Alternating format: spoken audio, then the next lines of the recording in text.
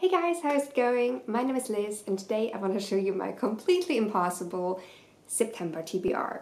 So I have a lot of books um, that I've borrowed from the library and most of them are running out very very soon. So I have a stack here of 11 books, 9 of them are from the library and 9 of them have to be finished by the 16th of September. I don't know if I'm actually gonna manage to do that, but I'm gonna try because these books just sound so interesting. I just haven't gotten around to reading them because I try to shop my own bookshelves uh, more this year. But yeah, I mean, you're book, book addicts if you're watching this channel, so you get the problem.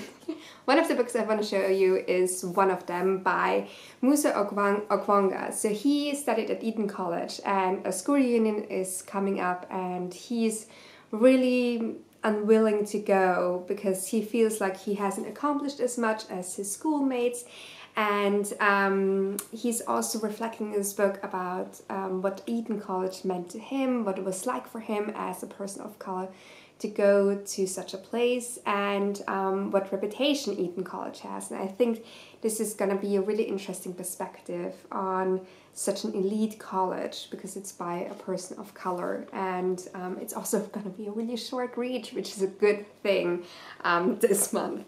Um, another read that's another short read thank God, like for real, um, is White Rage, uh, The Unspoken Truth of Our Racial Divide by Carol Anderson. So in this book, um, Carol is, Carol Anderson is um, describing how white rage has has such a huge impact on our history, uh, especially the American history. Like when it came to um, like when it comes to post Civil War black codes, Jim Crow, um, the white rage after the election of the first black president and how that backlash to the empowerment of other people who are not white um, if that's even a thing, um, is has always had quite a traumatic impact on history. So I think this is really important read. I've heard so many good things about it, and yeah, can't wait to dive into this one. The next book I want to show you is one that's actually one of my books, um, so it doesn't have that much priority, though after the 16th I can read whatever I want, right? Um, but yeah, this is a, a, book that immediately caught my attention because I love the cover. And this is Lessons in Chemistry by Bonnie Garmus. And this takes place in the, in the 16, early 1960s. Um, when um, Elizabeth uh, Zott is um, working at Hastings Research Institute in her all-male team and um, all of the guys treat her really horribly except for one guy that she falls in love with. Um, I think they have a child together, um, not sure. Um, anyways, they find um, uh, that they are not a good fit eventually and she gets divorced. And after she gets divorced, she starts this cooking show called Supper at Six, and she has like the, her own spin on it because she brings her chemistry degree into cooking. But by doing that, she brings up quite a subversive element to it, and um, women love her show. Um, especially because of the subversive nature of, of her show, and uh, that's when she sort of gets in trouble, I think. I've heard good things about this and I just love um, the plot description so I'm excited to read this one. The next one is again from the library which is why the cover is on the inside. And this is Men Who Hate Women by Laura Bates. So I also read Misogynation by Laura Bates, Bates, which was an essay collection, and this one is like a, um, a non-fiction book that's not made up of essays. And in this book, she describes like men who really hate women, who whose misogyny has taken on like a really dangerous edge, like incels and pickup artists, like people who actually actively want to harm women. And she really looks at uh, that world and um, why that is, how it came to be, that sort of thing. Can't wait to dive into this one, even though it's probably gonna make me angry. um, the next one is another book about um, women's issues. I mean, I personally see them as human rights issues, but yeah. Um, and that's Unwell Women by Elinor um. And this is um, a book about medicine and um, women. Um, it's called A Journey Through Medicine and Myth in a Man Made World. And it's about how often medicine has been wrong about women and um, uh, how women have suffered as a consequence of that. I love the cover, um, but this is gonna be my thickest read uh, of this month. Um, so I think I'm gonna read like half of it, and if I'm gonna if I like it, I'm just gonna buy it, and um, that way I can actually get through my TBR um, without losing anything. Um, but yeah, it sounds really amazing. I think a lot of things that are happening in medicine, especially when it comes to women, is so wrong, especially when it comes to women of color. And so I think this is going to be a really enlightening read. The next book is a fiction book, um, very few fiction books this month. And um, this one, I'm, I don't know what to think about this one, but I'm still excited to read it. And that's Nick by uh, Michael Farris uh, Smith. Yes, Smith. And uh, another library copy, as you can see. And this is uh, The Great Gatsby from Nick's POV. So um, Michael Farris Smith um, really explores the homosexuality of Nick in this book a lot further.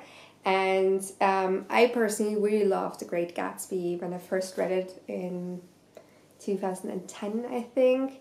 Um, I was studying abroad in the United States, and my English professor gave um, that book to me, which I had never heard about. And I just loved the sentences, I just loved the language and um, so this is gonna be um, pretty cool to dive into back into the Great Gatsby world.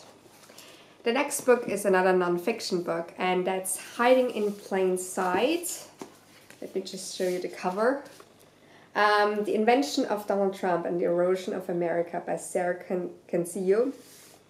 And Sarah Kendzior in this book is looking at uh, the rise of Donald J. Trump and how um, the erosion of democracy started to happen and why he even could be successful even though he was I mean underqualified like that doesn't even like begin to describe what he was for the job. And um, yeah this is going to be a really interesting read. This was written in 2019 um, so yeah it's going to be an interesting look back um, to that time that we still haven't left behind. Um, the next book is another fiction book, and this one is has the best cover. I don't know if I can actually show you the real. Yes, I can. So the cover has an orange cat on it, and it's called A Room Called Earth. Um, it's by Madeleine Ryan. I mean, amazing cover. I also love the book like the book uh, itself um, underneath the cover. And this is um, from the point of view of a woman on the autism spectrum and she's going to a party and that's it. Like she describes what being at a party is like for her. Um, so I think this is going to be a really interesting dive into the psyche of somebody on the spectrum, um, what's real social situations like that that are quite intense um, are like for her. And uh, this was recommended by Mercedes by, uh, of Mercy's Bookish Musings if you want to check out her channel. And um, yeah I trust her judgment on most things. And yeah looking forward to this one. Next one is also um, uh, a fiction book.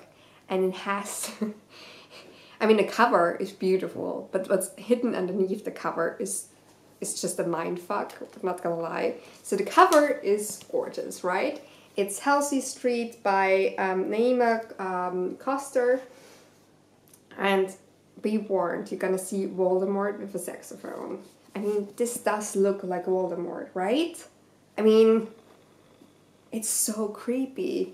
On the back there's a gin bottle which with the green of Slytherin. I don't know, it's giving me major Harry Potter vibes but the plot sounds pretty amazing. Um, I ordered this at the library after I had read um, When No One Is Watching, which is an amazing book, book you, you should definitely pick up if you haven't read read it yet. Um, but this is about Penelope Grant, who is an artist living in Pittsburgh, and it's basically about gentrification.